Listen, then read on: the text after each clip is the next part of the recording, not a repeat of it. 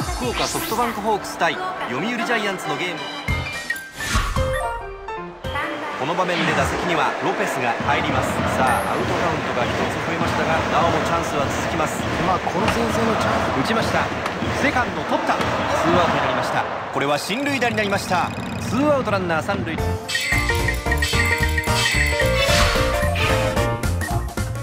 9番バッターロペス先ほどの打席はファーストゴロ併殺打となってしまいました。ツーアウトランナーありません。変化球を振らせました。引っ張った。これはサードライナー。